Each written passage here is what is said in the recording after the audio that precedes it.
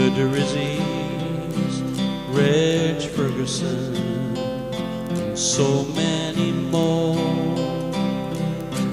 volunteers signed up.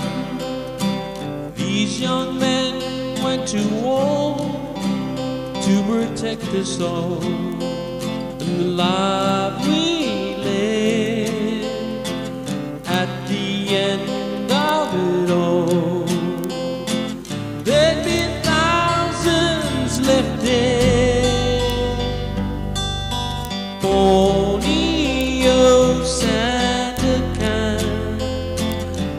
has a dark tale to tell.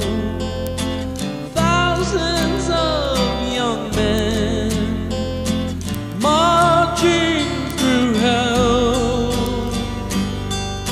Starvation, brutality, death of brother and mate. Six survive for the others